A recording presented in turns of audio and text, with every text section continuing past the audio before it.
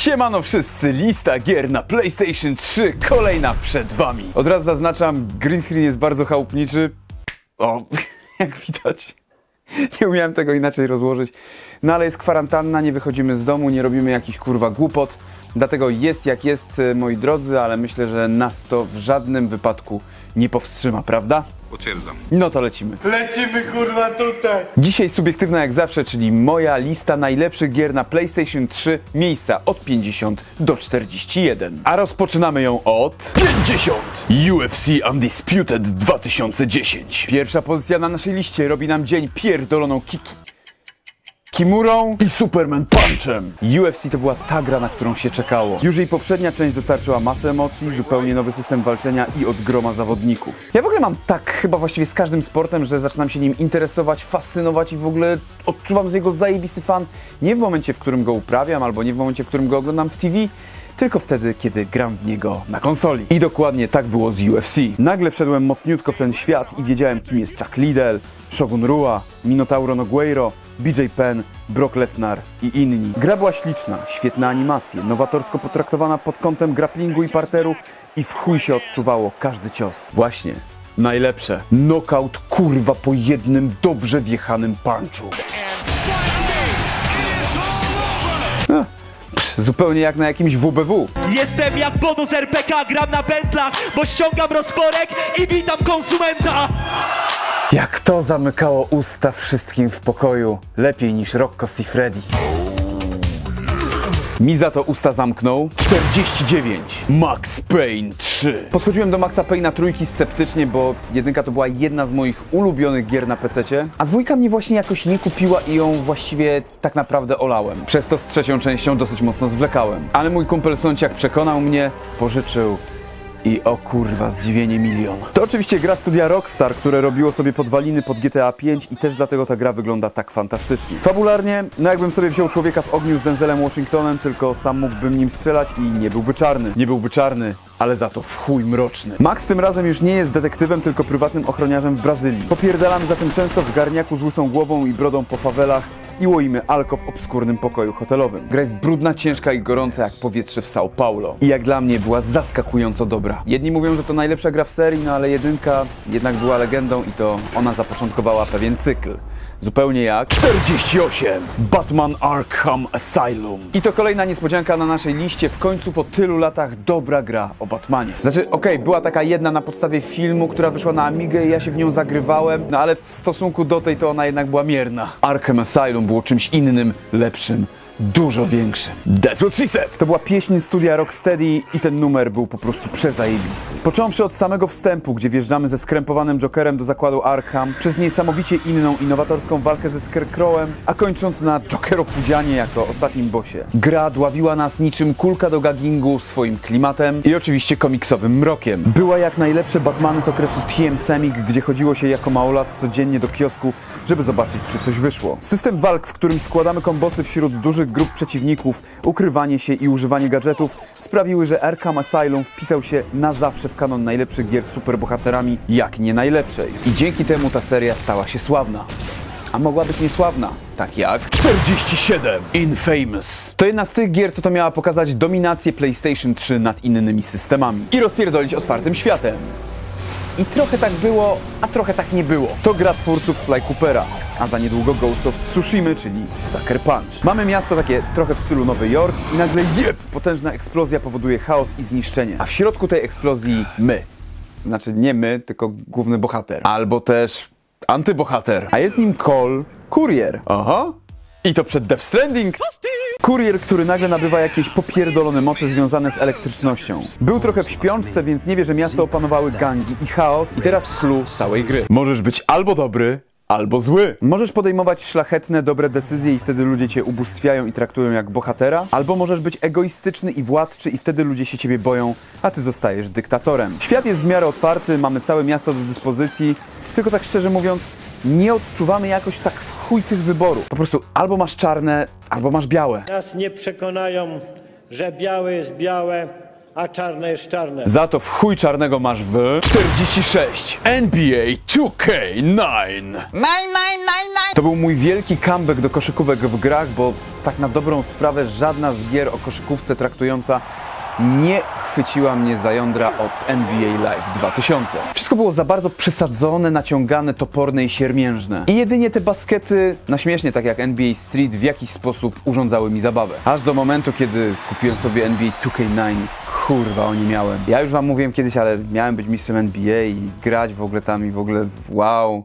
Tylko, zacząłem palić papierosy i nie urosłem, dlatego nie palcie papierosów. Pozostało mi więc napierdalać w basket na konsoli. I to też mi się znudziło po jakimś czasie i w ogóle przestałem się interesować tym, co się działo w NBA. I właśnie dzięki tej grze znów do tego wróciłem. Zobaczyłem, że koszykówka może być jedną z najładniejszych gier, jakie powstały na konsoli. Ilość detali, ich jakość kurwa powalała. Ola widząc jak gram była przekonana, że oglądam jakiś mecz w telewizji. Publiczność, animacje, komentarz i przezajebiste wsady z zajebistymi replayami nie pozwalały mi się oderwać od tej pozycji. I nawet rozegrałem cały regularny sezon i playoffy w Boston Celtics. A mój Paul Pierce był królem strzelców za średnią chyba 40 punktów na mecz. A każdy mecz to było mniej więcej pół godziny, 40 minut realnego czasu, więc sami rozumiecie. Spędzałem przy tej pozycji setki godzin. That's what she said! przy następnej mniej ale wylałem zdecydowanie więcej łez. 45! Call of Duty World at War. Po niesamowitym sukcesie Call of Duty 4, czyli Modern Warfare, gra wróciła do swoich korzeni, czyli po prostu do II wojny światowej. Dla niektórych był to na maksa regres, dla innych słuszny powrót. Ja się cieszyłem, bo wcześniej w grę w klimatach II wojny światowej grałem chyba w 2002 roku na lekcji religii i wiele się nie zmieniło od tego czasu pod kątem graficznym. A tutaj naprawdę kurwa szapoba zajebista volta. Gra jak na tamte czasy była śliczna, brudna i bardzo drugowojenna. Nie stworzyło jej jednak Infinity Ward, tylko ci gorsi, czyli studio Treyarch. Na dzień dobry wrzucano nas na dwa fronty. Pacyfik, gdzie musieliśmy się napierdalać z armią japońską i front wschodni podczas bitwy o Stalingrad, gdzie głos jednej z postaci użycza Gary Oldman. Mark my words, comrade. One day things will change. Today is that day. I wraz z Armią Czerwoną idziemy przez Polskę gwałcić, mordować i zabijać Polak. A nie, to zapomniałem, że gra, a nie rzeczywistość. Więc z wraz z Armią Czerwoną idziemy odbić Berlin. No i właśnie, kurwa Berlin. Wiecie, jak potrafię się wkurwić w grach, prawda? Kurwa! Kurwa! Że tak czasem aż się popłaczę, nie? No to tutaj kurwa płakałem chyba przez dwie godziny próbując zdobyć schody Reichstagu na kurwa najwyższym poziomie trudności. Bo byłem jebaną trophy whore i musiałem zdobyć platynę. Serio napisałem nawet poradnik do World at War, który gdzieś tam krąży w sieci, a gra była w chuj nieuczciwa.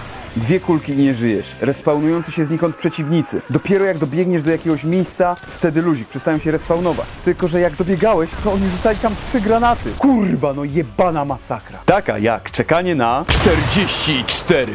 Bioshock 2. Kurwa, jak ja czekałem na tę grę, ile ja się o niej naczytałem, ile ja kurwa newsów w sieci sprawdzałem, żeby się dowiedzieć, co to będzie, kiedy będzie i jak będzie. Nie bez powodu na przedramieniu mam wytatuowanego Big Daddy'ego, klucz francuski, świder, maskę Splicera i wieżę.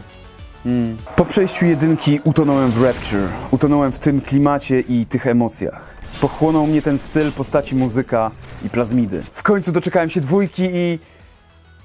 i Trochę się zawiodłem. To już nie było to samo co jedynka. Może dlatego, że nie stał za nią twórca pierwszej części, czyli Ken Levine, który odpuścił robiąc Bioshock Infinite. Wracając jednak do samej gry. Znowu mamy Rapture, tylko tym razem 8 lat później.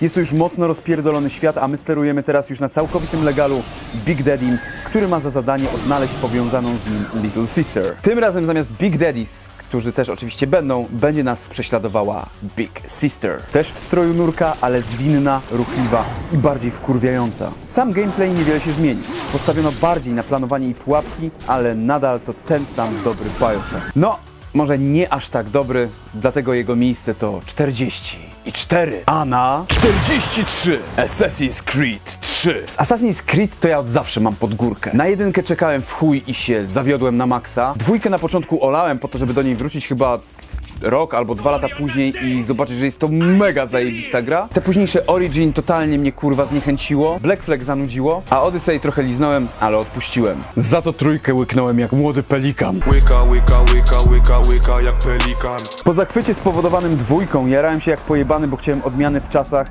i w końcu wypierdolić z tych Włoch. Wizja budowanych dopiero Stanów Zjednoczonych, wojna o niepodległość, Paula Rivera, George'a Washingtona, bostońskie herbatki zawsze gdzieś tam była mi miła w mojej historycznej głowie. głowie. Dlatego też tak ta gra trafiła do mnie. Jak zwykle mamy konflikt pomiędzy asasynami a templariuszami, tylko tym razem kierujemy Indianinem Conorem Kenwayem i jego tomahawkiem. Mechanika w grze kurwa niezmienna od lat. Cyk punkt widokowy, cyk znajdźki, cyk poboczne misje, ale oprócz tego rekrutowanie asasynów i nowość.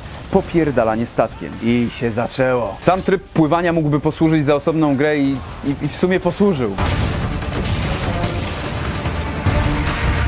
Bitwy morskie były dodatkiem, który naprawdę podbijał wartość tej pozycji. I szczerze wolałem je w tak uproszczonym schemacie niż później w Black Flag. Dlatego trójka tu jest, a czwórki nie ma, ale za to jest 42 Dragon Age. No i tutaj nie mogłem ni chuj zdecydować, czy Dragon Age Origins, czy też Dragon Age 2. Dlatego wrzucam naraz oba te tytuły. O Inkwizycji oczywiście nie wspominam, bo to gra jednak bardziej na PlayStation 4. Chociaż i tak pamiętam, jak grałem w Inkwizycję i sobie myślałem, jej, ale ten RPG jest fajny, ale to, to jest super, te czasy, to wszystko. A potem wszedł Wiedźmin 4 i popatrzyłem na kurwa Dragon Age z takim obrzydzeniem, że ja pierdolę. A niesprawiedliwie, bo pierwsze dwie części naprawdę dały mi chuj radości. Jak dobrze wiecie, szerokim łukiem omijałem europejskie RPG i w ten sposób nigdy nie grałem w Gotika. Byłem fanem japońskich RPG, oczywiście do czasu. I przyszło kiedyś Skyrim i sprawiło, że zacząłem inaczej patrzeć na ten gatunek. Dragon Age było właśnie jedną z tych gier, do których się przekonałem. Interakcja z drużyną, budowanie swojej bazy wypadowej, charakterystyczne i charakterne postaci, to wszystko wystarczyło, żeby twórcy Baldur's Gate mnie kupili. System walki, który był dla mnie swoistym miksem Baldur's Gate'a, Diablo też do mnie w chuj przemawiał. Na pewno to, że sięgnąłem po Dragon's Age było zasługą innej gry, tejże firmy, czyli Mass Effecta. I dzięki temu zamiast Space Opery przeżyłem Dark Heroic Fantasy, operę jak zły. Prawie jak gra o tron. A skoro przy tym jesteśmy... 41 Game of Thrones. To chyba jedyna dobra gra na tej licencji. Może się mylę, ale mam wrażenie, że tak jest. Kiedy wyszedł serial, po pierwszym sezonie łyknąłem wszystkie książki George'a R. R. Martina i się bawiłem przy tym znakomicie. To są zajebiste książki i zajebiście się je czyta. Tym lepiej ogląda się później serial, ponieważ książki i serial rozchodzą się tak kurwa bardzo, to jest tak, jakbyś oglądał dwie zupełnie inne rzeczy. Podobnie jest w grze od Telltale Games. Znowu trafiamy na przygodową, narracyjną grę wyborów. I niby mamy poboczne, drugoplanowe postaci z książki czy serialu, ale tak naprawdę sterujemy ludźmi, którzy nie są w głównym nurcie zdarzeń i jak zwykle w przypadku Telltale jest kurwa dramatycznie. Znaczy, jest dobrze, tylko chodzi o to, że jest dużo dramatu, wiecie o co chodzi. Dużo dramatu i zwrotów akcji. Wszystko kręci się wokół rodu Foresterów. Jeden jest najemnikiem, jeden jest na wojnie, jeden panem na zamku, inna jest służką Marjorie Tyrell. Generalnie to bardziej kameralna, rodzinna opowieść o tym, jak wojna i intrygi potrafią wszystko popsuć. Fabularnie jest mega ciekawie. Wybory jak zwykle ważne i nieważne, ale to jedna z moich ulubionych pozycji od Telltale Games. Inne w innych odcinkach. Kochani, to wszystko na dzisiaj. Widzimy się w następnej kurw... Jakiej kurwturze? Oczywiście, że nie w kurwturze. Widzimy się w kolejnej liście gier na PlayStation 3. Następne będą miejsca od 40 do 31. Co będzie na tych miejscach? Możecie typować. Pamiętajcie, nie typujcie najlepszych gier, tylko takie, takie bardzo dobre, ale takie za kurwa top 20. No pomyślcie. Piszcie w komentarzu, ja się z wami żegnam. Pa, pa!